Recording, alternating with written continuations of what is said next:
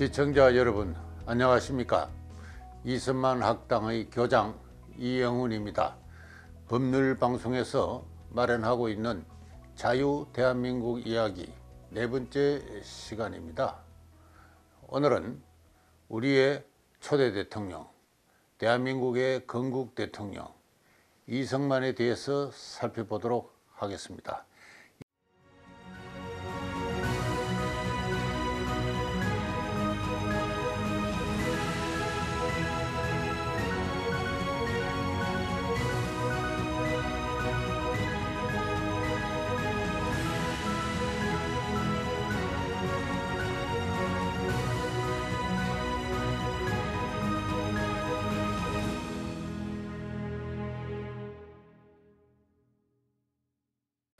이승만이 어떠한 사상, 정치 이념의 소유자였는가 그 점을 여러분께 말씀드리도록 하겠습니다. 지금부터 117년으로 돌아갑니다. 1904년 2월 일본과 러시아가 전쟁을 하기 시작했습니다. 당시 서울의 한성 감옥에는 나이 29세의 한 청년이 만 5년이나 갇혀 있었습니다. 바로 대한민국의 초대 대통령이 되는 그 이승만입니다. 고종 황제 폐위 업무에 연루되어서 체포되었다가 탈옥을 시도한 중재인 국사범의 신분이었습니다. 무기징역을 선고받은 국사범이었습니다. 이승만은 일본과 러시아의 전쟁이 터졌다는 소식을 듣고 눈물을 흘렸습니다. 전쟁이 끝이 나면은 대한제국은 어느 편이든 이긴 쪽의 먹이가 될 것이다. 지난 30년간 우리는 무엇을 하였던가? 어찌하여 그 고 좋은 기회를 다 놓치고 말았는가? 그러한 통한의 피눈물이었습니다. 나라가 망하면은 그 백성은 망국의 노예가 됩니다. 여러분은 모든 권리와 명예를 상실한 노예로 떨어지고 맙니다. 그런 피할 수 없는 운명으로 다가왔다고 생각해 보십시오. 피눈물이 흐릅니다. 바로 그 눈물을 이승만은 흘리면서 말했습니다. 어찌하여 그 좋은 기회를 다 놓치고 말았는가? 흔히들 대한제국이 망한 것은 이완영 등 소수의 매국노들이 나라를 팔아먹었기 때문이다. 그렇게 이야기를 합니다. 지금도 많은 사람들이 그렇게 생각하고 있습니다. 그러나 이승만의 생각은 달랐습니다. 지난 30년간 우리는 무엇을 하였는가? 어찌하여 그 좋은 기회를 다 놓치고 말았는가? 그렇게 생각했습니다. 과연 일본과 러시아의 전쟁은 대한제국을 목적물로 둔 먹이로 한 전쟁이었습니다. 전쟁에서 승리한 일본은 미국과 영국 등 국제사회로부터 대한제국을 그의 보호국으로 삼아도 좋다. 그 권리를 승인받았습니다. 이승만은 전쟁이 터졌다는 소식을 듣고 문득 한 권의 책을 쓰기 시작했습니다. 불과 4개월 만에 오늘날의 국판 400페이지에 달하는 방대한 양의 원고가 완성되었습니다. 그 옥중에서 도와주는 조교도 없이 참고할 만한 문헌도 변변치 않은 채 그런 열악한 상태에서 그는 미친 듯이 그의 머릿속에 담겨 있는 생각의 실타래를 풀어내기 시작했습니다. 이승만이 4개월 만에 완성한 그 원고는 옥중으로 반출이 되어서 태평양을 건너 1910년이 되어서야 미국 로스앤젤레스에서 독립정신이라는 책으로 출간되었습니다. 나라가 망하게 된 것은 무엇 때문인가? 근본 원인은 무엇인가? 다름 아니라 우리 대한의 인민에게 독립의 독립이 무엇인가? 그 독립 정신이 없기 때문이었다.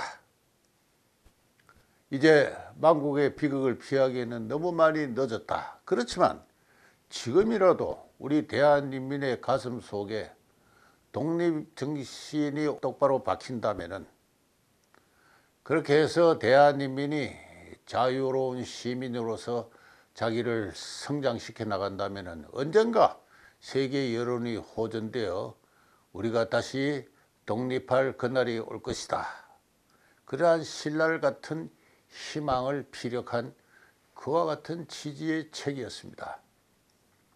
돌이켜보면 이 독립정신이라는 책은 한국 역사상 한국의 문명이 시작된 지 2000년 이상입니다만은 그긴 역사에서 최초의 근대적인 정치 철학의 저작입니다.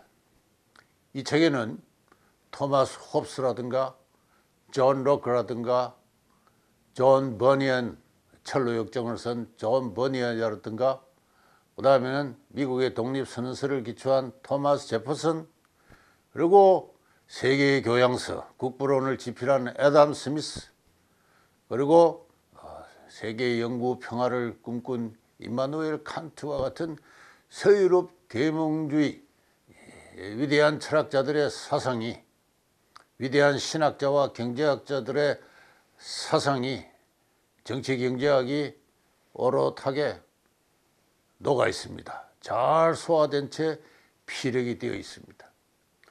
이승만은 당시로서는 최고급의 양반 신분이었습니다. 그는 어릴 적부터 과거의 급제를 위해서 유학의 사서오경을 읽어온 사람입니다. 따라서 이 독립정신이라는 책에는 우리 동양의 유교사상, 그 아름다운 정수도 그 바탕에 깔려 있습니다. 한국사에서 진정한 의미의 근대는 이 독립정신이라는 책에서 출발한다고 해도 과언이 아닙니다. 그럼에도 불구하고 지난 100년간 이 책은 한국인들에 의해서 까마득하게 잊혀왔습니다. 어느 정치학자, 어느 철학자, 어느 경제학자, 어느 역사학자가 이 책을 읽고 이 책을 정독하고 이 책에 스며 있는 계몽적 이념과 사상을 이해하고 분석한 적이 없습니다. 또한 독립정신은 우리나라 최초의 정치 철학의 저작일 뿐만 아니라 최초의 근대적인 역사서입니다. 책은 52개의 챕터로 장으로 이루어졌습니다. 근데 후반부 26개의 장은 1876년 개항 이후 1904년 러일 정쟁에 이르기까지의 국제 정세의 변화와 그에 대한 조선 왕조의 대외 정책에 관한 서술입니다.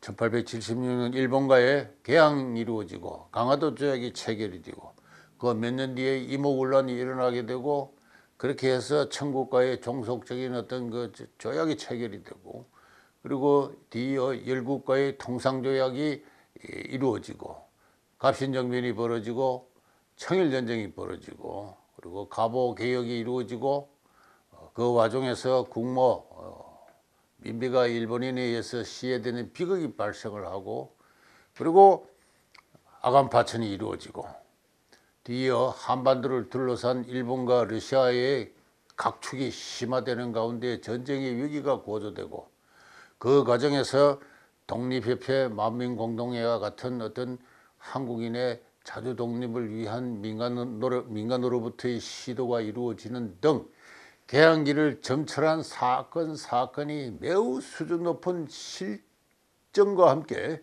예, 소개되고 분석되고 있습니다. 지금도 여전히 유효한 보다 솔직하게 표현해서 오늘날의 역사학 수준보다도 군데군데는 실정적으로 보다 높은 수준의 그러한 고급의 역사학적 서술입니다.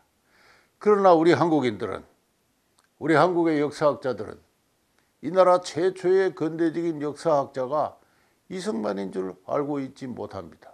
흔히들 역사학자들은 우리 한국의 최초의 역사학자를 가지고 1907년에 독사실론이라는 글을 쓰기 시작한 신채호를 가지고 한국 최초의 근대적 역사학자라고 이야기합니다.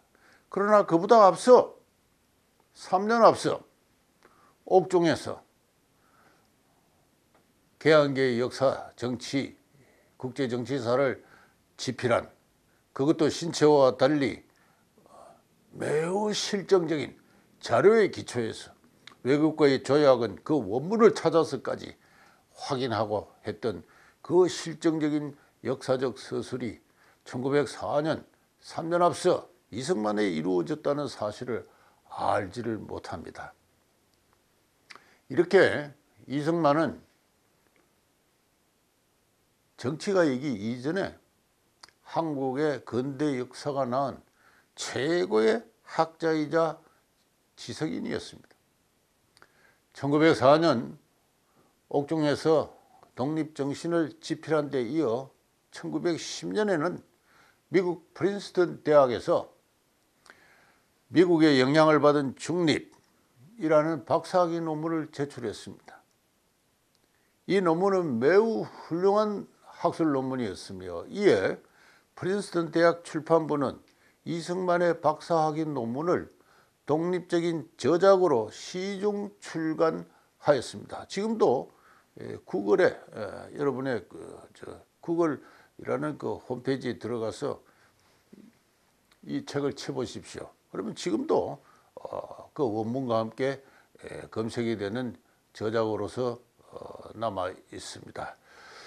이렇게 이승만은 한국 최초의 어떤 그저 철학 박사 학위를 취득했을 뿐만 아니라 뒤이어 1913년에는 하와이에서 한국교회 피파학이라는 출, 책을 출간하였습니다. 이 책에서 그는 이미 망해버린 그의 조국 대한이 어떻게 부활할 것인가 라는 독립운동의 큰 비전을 어, 제시를 했습니다. 이 책에 나타나 있는 사상, 그 사상의 수준을 오늘날의 한국의 지성사회가 이해, 이해하고 있을까요? 과연 그것을 극복해서 더 높은 이상을 향해 나아가고 있다고 할 수 있을까요? 이승만은 이야기를 했습니다. 이 책에서. 대한 제국이 우리나라가 망한 것은 다른 무엇도 아니고 우리의 정신이 낡고 태보적이어서 그렇다.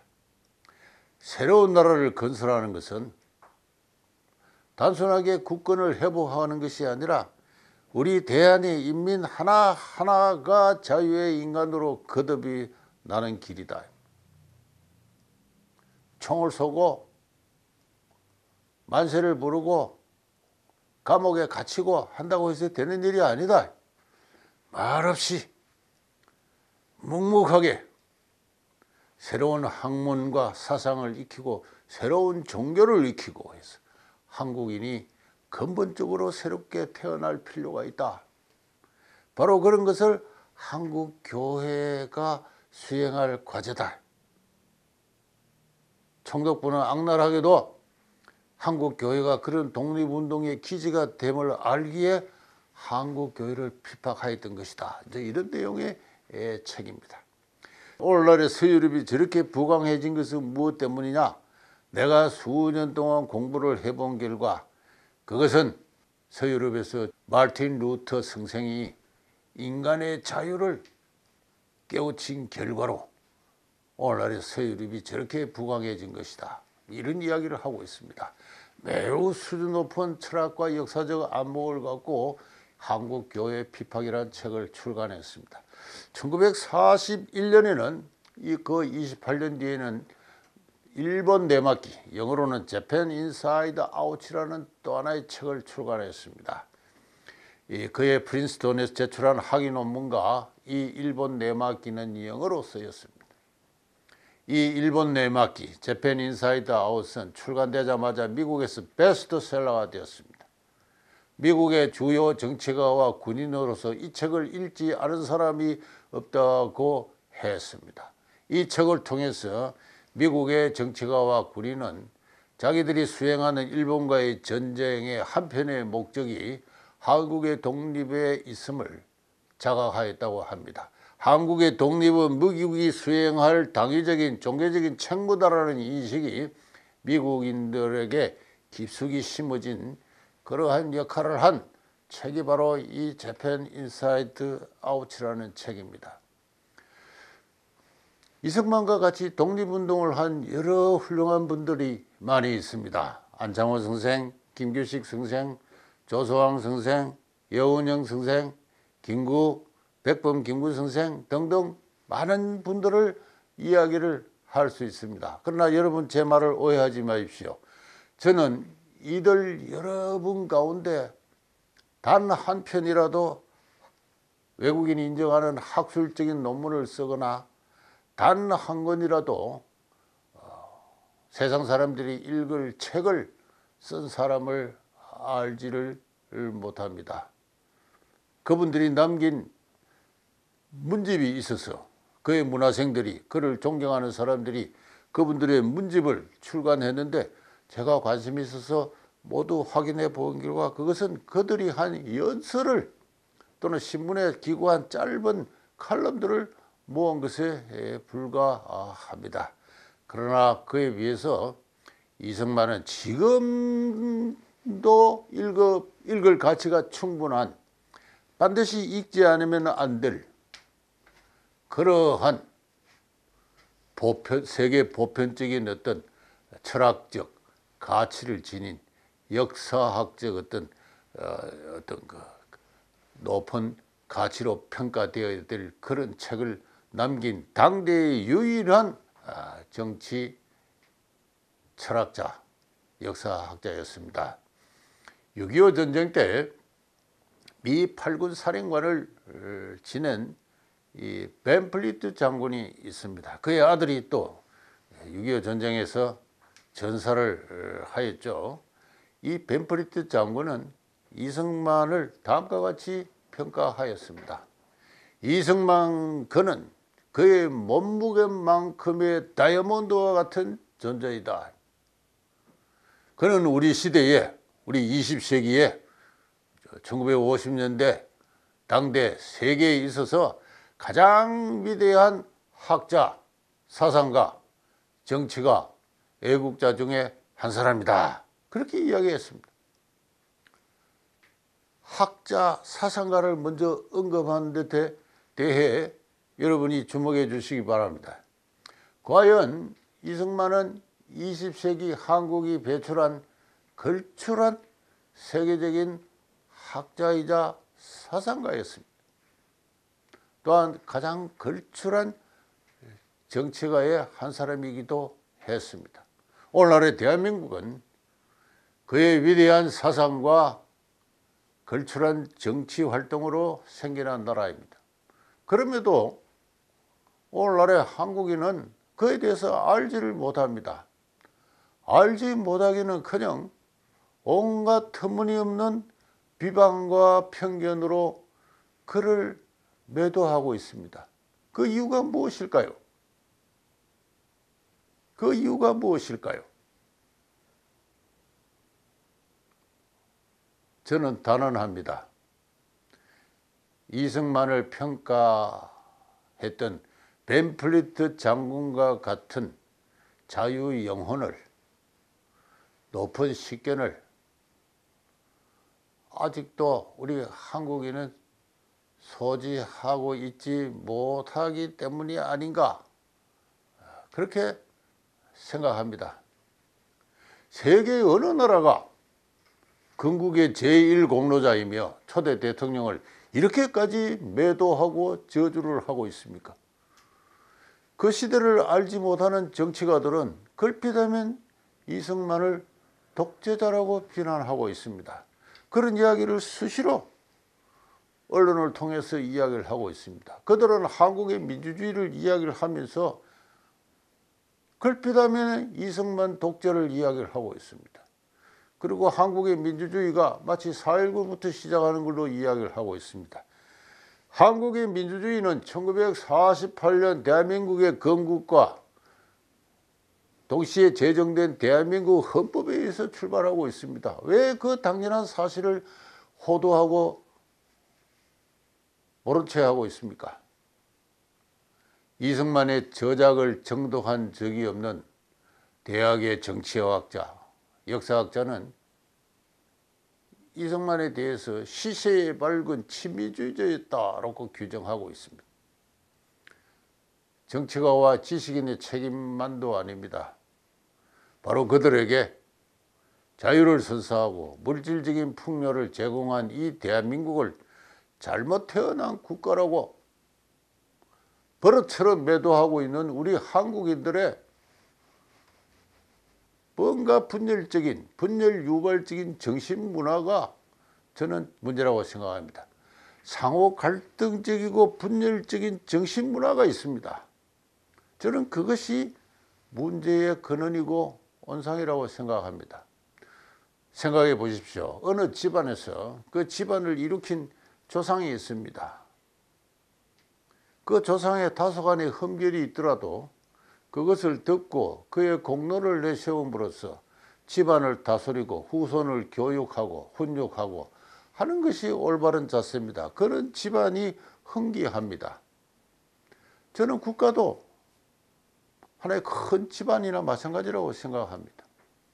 국가도 마찬가지입니다. 건국의 원훈, 제1의 공로자를 이렇게까지 매도하는 어떤 천박하고 잔인한 정신 문화라면은 이 문화, 이 나라에 밝은 장래가 있을까요? 저는 늘 그렇게 에, 어, 비관적인 어떤 그러한 전망을 어, 하곤 합니다. 조금 전에 말씀드린 대로 많은 정치가들이 걸핏하면 이승만을 독재자라고 합니다.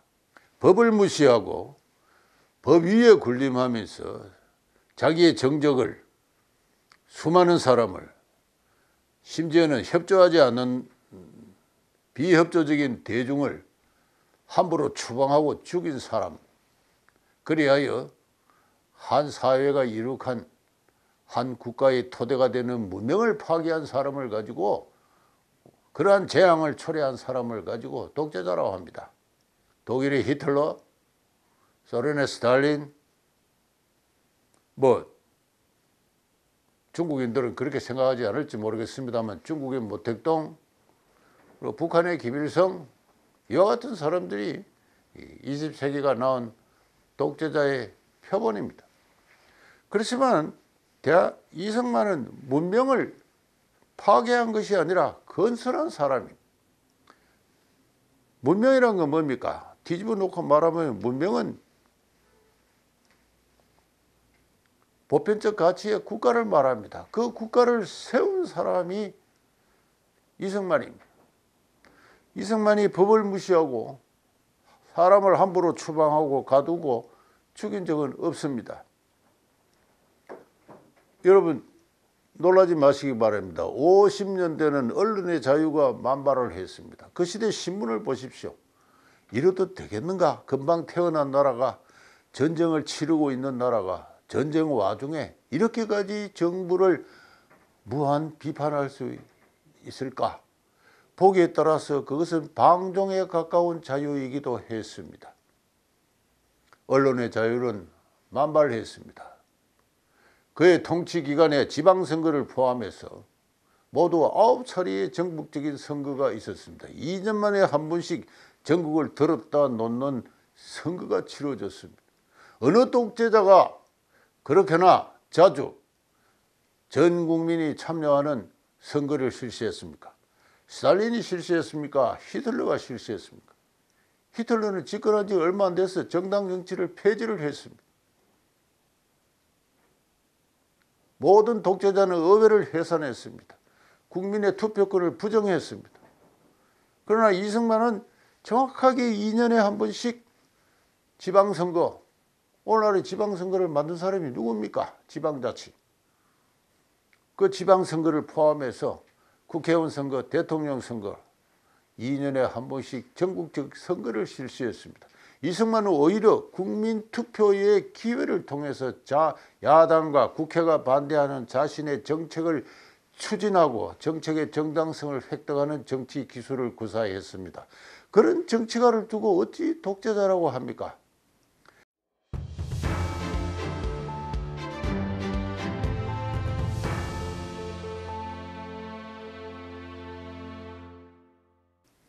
그 선거가 사고를 일으키고 말았습니다.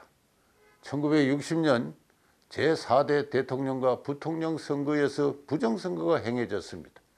여러분, 부통령 선거가 국민 투표로 직접 선출되었다는 사실에 주목해 주십시오. 이것은 올바른 제도가 아닙니다. 그러나 당시의 정치 상황이 어쩔 수 없이 그러한 잘못된 제도를 만들어냈습니다. 나이 85세 된 이승만 대통령이 대통령 당선되느라 아무 문제가 없었습니다.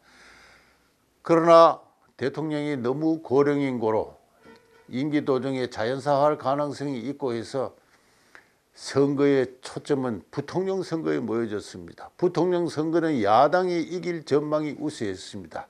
그렇게 하자 당시의 집권 여당인 자유당의 이 핵심 세력들이 무모하게도 부정선거를 획책을 했습니다. 그 부정선거에 대해서 국민적 저항이 일었습니다. 바로 4.19죠. 부정선거를 인지한 대통령은 어떻게 했습니까? 그 부상당한 학생들이 입원한 병원을 찾아가서 울먹이면서 젊은이들이 불의를 보고 일어섰으니 이 나라에 희망이 있다고 그랬습니다. 그가 젊었을 때 독립협회 운동을 하면서 탄압을 받고 감옥에 갇혔던 그때를 생각한다면 젊은이들이 이렇게 들고 일어났으니 이 나라에 희망이 있다고 그랬습니다. 그리고 어떻게 했습니까? 하야를 했습니다. 책임지고 하야를 했습니다. 어느 독재자가 그렇게 책임을 지고 하야를 합니까? 1948년 8월 15일 대한민국이 건립되었습니다. 그날의 경축사에서 초대 대통령이 이승만은 새롭게 태어난 이 나라는 개인의 근본적 자유를 보호할 것이다. 라고 그렇게 선언했습니다. 개인의 근본적인 자유. 그가 평생을 추구한 바로 그 그의 정치 이념의 정수입니다. 그것은 무엇을 말하는 것인가? 누구도 국가도 임의로 부정할 수 없는 한 개인이 지닌 천부의 권리를 말하는 것이었습니다. 1899년 기독교인으로 개종한 이승만에게서 이 천부의 권리는 하나님으로부터 주어진 것입니다. 인간은 하나님에 의해서 하나님과 닮은 꼴로 창조된 귀중한 존재입니다. 나의 몸은 나의 신체는 이 세상을 위해서 올바르고 유익하게 쓰라고 소명을 받은 도구와 같은 것입니다. 그렇게 귀한 존재로 지음을 받고 태어난 내가 어찌 독립하지 않고 어찌 남에게 빌붙어 살며 어찌 자유하지 않고 노예로 살며 어찌 거짓말을 입에 올리면서 남을 미혹하며 어찌 사악한 말로서 남을 무고할 수 있단 말입니까? 독립이란 것은 이렇게 또는 자유란 것은 이렇게 조물주에 의해서 귀중한 소명으로 귀중한 존재로 지음을 받고 태어났다는 존재 감각을 말하는 것입니다. 독립정신은 그 점을 피눈물로 슬퍼하고 있습니다. 그런데 독립과 자유는 제 힘으로 살고 남에게 억압을 받지 않고 남에게 피해를 주지 않는 그것만이 아닙니다. 독립정신이라는 책에서 이승만이 슬퍼한 자유는 독립은 그것 이상의 것입니다. 자유란 것은 곧 통상입니다. 이 점을 이해하는 것이 이승만의 독립정신을 올바로 읽는 관문입니다. 이승만에게 있어서 독립과 자유는 소극적으로 억가로부터부터의 해방일 뿐만 아니라 적극적으로 통상이라는 정치 경제학의 진수이기도 한 것입니다. 그 설명을 들어봅시다. 1492년 콜럼버스가 신대륙을 발견하였습니다. 이후 유럽의 상인이 오대양과 육대자를 누빈, 육대주를 누비는 대항해 시대가 펼쳐졌습니다. 그 과정에서 새로운 학문과 새로운 자원이 새로운 지식이 발견되고 널리 전파되었습니다. 독립정신이라는 책에서 이승만은 그 점을 강조하고 있습니다. 이 대항해 시대에 펼쳐진 지구대적 규모의 통상 이것이 자유다. 그런데 이 자유 곧 통상은 곧 경쟁이기도 한 것입니다. 개방적이면서도 공정한 경쟁을 통해서 새로운 자원과 우수한 지식이 개발되었습니다. 통상과 더불어 경제가 성장하자 정신문화는 더욱더 풍요로워졌습니다. 서유럽의 자유롭고 부강한 나라가 태어난 것은 바로 세계를 무대로 한 통상이 안겨주던 축복이었습니다. 그런데 자유는 왜 통상인가? 이승만은 설명하였습니다. 하나님은 인간을 자유로운 존재로 창조하였을 뿐만 아니라 이 지구를 더없이 풍요롭고 다양하게 창조하여서 인간들이 통상을 하지 않으면 안 되도록 만들었다 하는 것입니다. 여기는 내 왕국이다. 우리 것이 최고다. 남의 것은 필요 없다.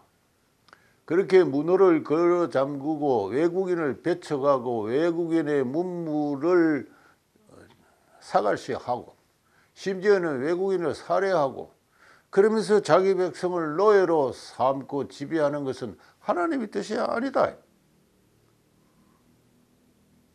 이승만이 독립정신에서 피력한 자유의 이념은 곧 통상이요 경쟁이었습니다. 왜? 통상을 하지 않으면 안 되도록 하나님은 이 지구를, 기, 지구를 기기묘묘하게 너무나 풍족하고 다양하게 만들었기 때문에 통상을 하면 할수록 서로가 새로운 지식과 자원을 알게 되고 물질 생활이 풍요해지고 정신 문화가 고양되기 때문에 그렇습니다. 그것이 하나님이 이 지구를 창조한 섭리다 하는 것입니다. 그 섭리다. 다시 말해서 자유란 독립이요, 통상이요, 경쟁입니다. 새로운 지식의 과학이요, 학문입니다. 그리고 정신문화의 고향입니다. 자유는 곧 통상이고 경쟁이고 학문이고 나아가 혁신이다. 예. 오늘날 대다수 한국인들이 아직도 낯설어하고 또는 거부감을 느끼는 자유의 이념이란 것은 바로 이러한 것입니다. 이것이 서구의 종교개혁 사상이요 서구의 개몽주의 정치 철학이요 자유주의 정치 경제학인 것입니다. 나아가 잘 알려진 임마누엘 칸트는 전쟁으로 점철된 인류의 역사를 끝내고 인류가 영구한 평화의 길로 접어들기를 꿈꾸었습니다. 그는 영구 평화를 위한 세 가지 조건을 제시하였습니다. 세계의 모든 나라가 자유인의 공화국이 되는 것. 두 번째, 세계 어디에도 자유롭게 통행하고 통상할 수 있는 것. 세 번째, 이 앞에 두 조건을 감리할 세계 기구가 설립되는 것. 그것이 칸트가 제시한 세계 영구 평화론입니다. 이 칸트의 자유주의 철학은 18세기 말에 최초의 자유인의 공화국으로 성립한 미국의 정신으로 정착하였습니다. 19세기 말 한국으로 건너온 미국인 선교사와 의사들이 바로 이와 같은 미국의 정신을 감옥에 갇힌 이승만에게 오롯하게 전수하였습니다. 그 결과 탄생한 것이 이승만에서 피력된 이 자유와 통상의 이념입니다. 그것은 하나님의 섭리와도 같은 것이어서 떠오르는 태양과 같은, 것이어서 밀려오는 조수와 같은 것이어서 어느 누구도 이를 거역할 수 없다. 거역하는 인종은 거역하는 민족은 소멸하고 말 것이다. 불행하게도 우리 대한이 지난 30년간 그러하였다. 그러하였다. 그래서 이제 만국의 비운을 맞이하게 되었다. 그러나 지금이라도 때가 늦지 않았다. 그러한 절절한 심정으로 쓴 것이 이승만의 독립정신입니다. 이승만의 정신을 무엇보다 자극한 것은 미국의 독립선언서입니다. 미국의 독립선언서는 여러분이 다 잘 아시는 대로 다음과 같이 시작합니다. 우리는 다음과 같은 것을 자명한 진리라고 생각한다. 즉 모든 사람은 평등하게 태어났으며 조물주는 몇 개의 양도 할 수 없는 권리를 부여했는데 그 가운데 자유와 생명과 생명과 자유와 그리고 행복 추구의 권리가 있다. 바로 이와 같은 어, 문장으로 미국의 독립선언문이 시작하죠. 이 선언문을 읽은 이승만은 말하였습니다. 구구절절이 더없이 적절하여 장부의 혈기를 격동시키는 가운데 가장 핵심적인 것은 이 한 구절로 말미암아 세상의 모든 조목의 근본이 생겼다라고 했습니다. 이승만은 미국의 민주정치를 동양 우리 동양의 상고 시대의 요순의 정치가 현실로 부활한 것으로 간주하였습니다. 장차 세계는 미국의 주도될 것이다. 미국의 비견할 다른 나라가 없을 것이다. 미국이 리더가 되어서 인도하는 자유와 통상의 길로 인류는 영구한 평화를 달성하며 공영하게 될 것이고 그러한 방향으로 하나로 통합되어 갈 것이다 하는 이런 세계사의 미래에 관한 비전을 확립하였습니다. 그 미국이 대한제국을 버렸습니다. 여러분 아시는 대로 미국은 대한제국이 자주 독립할 능력에 대해서 회의적이었습니다. 차라리 일본의 지배하에 드는 것이 한국인의 행복과 한국 백성의 행복과 동양의 평화를 위해서 낫다는 것이 당시 미국 정치가 외교가들의 판단이었습니다. 1931년 일본이 만주를 공략하기 전까지 미국의 한국 정책은 기본적으로 이러한 인식에 입각하였습니다. 따라서 그들은 많은 한국의 독립운동가들이 미국 정부에 제출한 도움의 요청을 거절하였습니다. 많은 독립운동가들은 미 국의 이와 같은 한국 정책에 실망을 하고 미국의 냉대를 받으면서 미국을 떠났습니다. 미국에서 활동한 안창호 선생이 그러하였고 미국에 유학한 김규식 선생도 그러하였습니다. 그들은 눈길을 중국 정부와 소련 정부로 돌렸습니다. 그 나머지 그들은 공산주의로의 길로 그러한 유혹을 떨치지 못했습니다. 대부분의 독립운동가들은 자유는 통상이요 경쟁이요 학문이라는 그 자유 이념의 근본을 체계적으로 이해를 하지 못했습니다. 그리고 당장은 냉대를 받지만은 장차 이 세계가 미국에 의해서 주도될 것이라는 것을 알지를 못했습니다.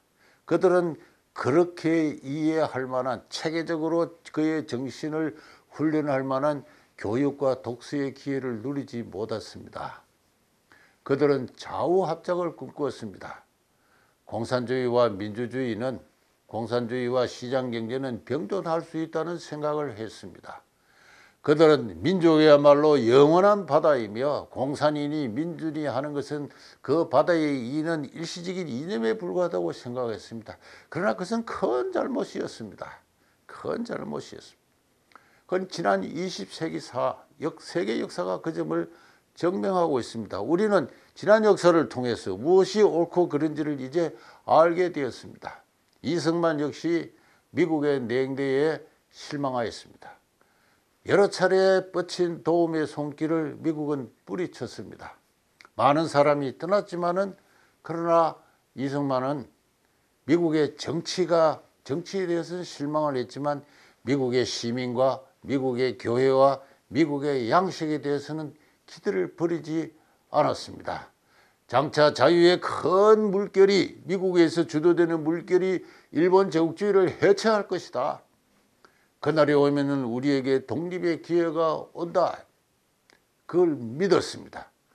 그는 그날을 위해서 쉬지 않고 미국의 시민과 교회와 그리고 정부를 향해 한국 독립의 당위성을 강조하였습니다. 한국의 독립은 세계 민주주의와 동양 평화의 불가결한 요소임을 강조하였습니다. 드디어 많은 미국의 시민이 그 이승만의 외침에 귀를 기울이기 시작했습니다. 드디어 그날이 왔습니다. 이승만이 대한민국 임시정부의 임시대통령으로 선출된 지 불과 20년 6년 뒤에 이랬습니다. 많은 사람들은 26년을 기다리지 못했습니다. 그러나 긴 역사에서 26년은 한 줌의 하나의 점과 같은 시간입니다. 신념이 없이는 기다릴 수 없는 시간입니다. 그러나 이승만은 기다렸습니다. 드디어 1931년 이후에 미국의 정책이 변화하기 시작했고 그리고 조선 독립의 대한의 독립의 기회가 찾아오기 시작하였습니다. 이승만의 자유 이념은 종교적이기 때문에 흔들리지 않았습니다. 여러 많은 독립운동가들 가운데 이리관지 신념을 변치 않는 사람으로서 저는 이승만 이외에 다른 사람이 누가 있는지를 알지를 못합니다. 1923년 이승만은 공산당의 당부당이라는 글을 발표하였습니다. 1917년에 일어난 러시아 혁명은 공산혁명은 적주의 지배하에 있는 많은 후진 민족에게 구원의 등불과도 비춰졌습니다. 상해 임시정부의 많은 사람들이 소련의 후원에 마음을 잃고 공산주의와 합작하거나 공산주의자로 돌아섰습니다. 대한민국 임시정부가 크게 분열하고 만 것은 이 공산주의자들의 분열 책동이 중요한 원 가운데 하나였습니다. 그 분열을 몸으로 체험한 이승만이었기에 바로 이 글을 썼습니다. 공산당의 옳고 그름, 당부당이었습니다. 이승만은 주장하였습니다. 가난한 사람이나 부자나 평등하게 잘 살게 하자는 공산당의 주장은 옳다. 그래서 법률을 제정해서 자본가들이 양반 노릇하는 것 이것을 막고 노동과 평등 세력을 이룩하게 하자는 데에는 나도 찬성이다. 그렇지만은 자본을 자본가를 폐지하자는 주장은 곤란하다. 자본가들의 경쟁이 없어지면은 상공업이 상업과 공업이 발달하지 못할 뿐더러 사람들의 지혜가 막혀 결국 물질적 계명이 중단될 것이기 때문이다. 자본, 자본을 폐하면 물질적 계명이 중단된다.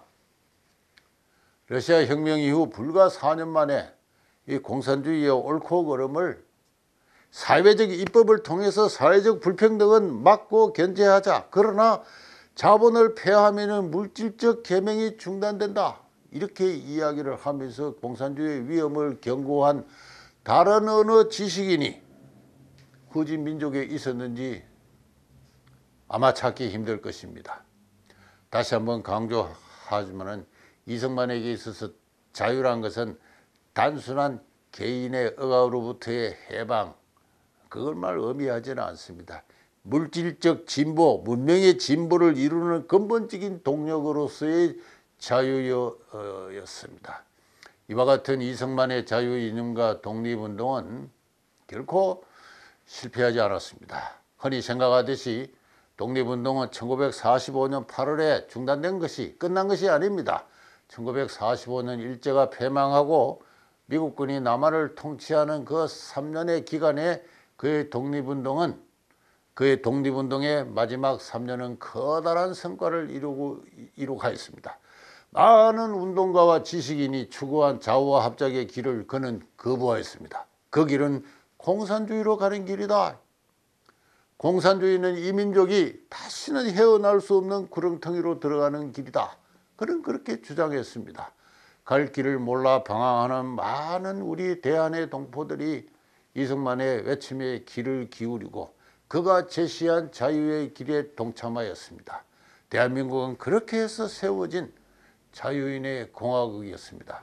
지금도 많은 사람들은 이승만만 없었더라면 민족 통일이 되었을 것이라고 비난하고 있습니다. 그렇지 않습니다. 이승만은 주장했습니다. 우선 남쪽만이라도 자유의 이념으로 이 민족을 소생시킬 필요가 있다. 연후에 나머지 병든 북쪽의 건강을 회복할 일이다. 여러분은 여러 시청자 여러분 이 말이 이 말에 대해서 여러분의 생각은 어떻습니까? 저는 통일은 자유의 길이 아니면은 안 된다고 생각합니다. 통일보다도 더 중요한 것이 이념입니다. 자유 이념입니다. 통일은 우리가 성취해야 해야 될 앞으로 100년이 걸리더라도 성취해야 될 역사적 사명입니다. 이 선후 관계를 혼돈해서는 곤란합니다. 여기를 혼돈하고 있는 것 이것이 오늘날 한국 지식 사회의 가장 큰 맹점이자 이 나라 정체성이 혼란되고 있는 근본 지점인 것입니다. 그런 관점에서 제2차 세계대전 후 공산주의의 세계적인 파동 물결로부터 이 민족의 반쪽이나마 건져낸 이승만의 독립운동을 올바로 재평가할 필요가 있습니다. 이승만의 독립운동의 구체적인 내용은 무엇이었던가 제가 다음 시간에 그에 대해서 말씀드리도록 하겠습니다. 경청해 주셔서 대단히 감사합니다.